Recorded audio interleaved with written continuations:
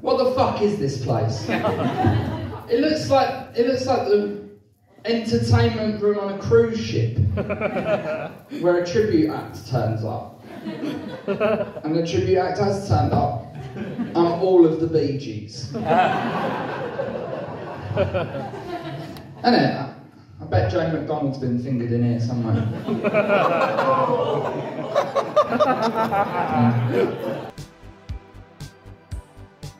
So, uh, here I am in. I feel like I'm always in Manchester.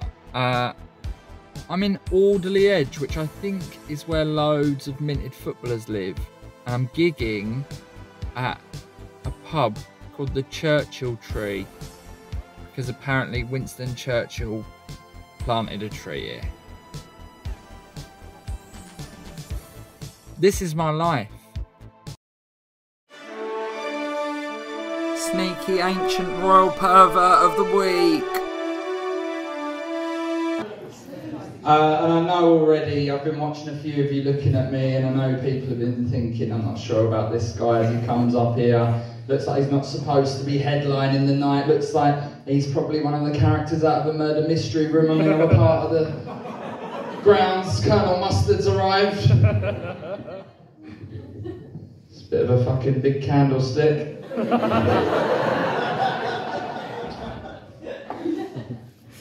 Why is that there?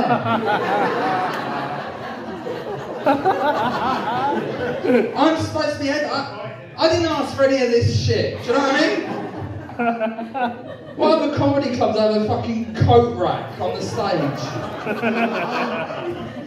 I've driven from London for this. And I know, right, and this is how comedy clubs work, right? You lot, I know, I've read up on you, I've been on Wikipedia, right? You've all got loads of money, right? Normally what happens is the comedian comes on stage, they've got all the power, you lot are like, that's a shit cheap suit, fuck off, mate. I've done my research, there's 300 millionaires in this area, right? Which means statistically, one person in this room could change my career for me. I think it might be that man in the white suit and the white shirt who looks like he owns uh, TK Maxx. To be honest, I'm only here because I want to steal one of these paintings because I reckon they're worth something. I've been looking for the fucking tree. Does anyone know which one it is? Is that it? Wait. Is it one of those two? They've got fences around them. Is this it?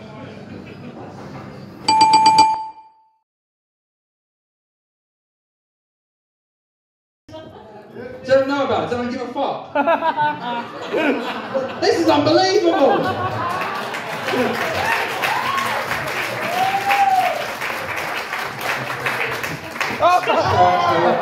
Fucking Churchill.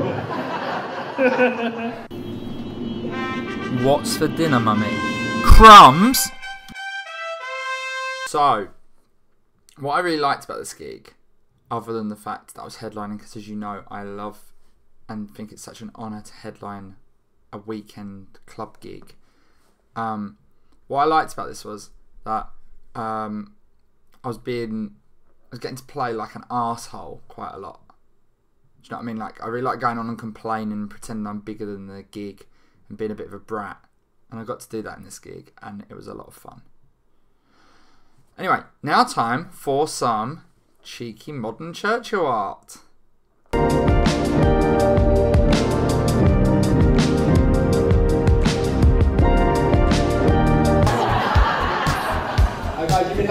やりたい。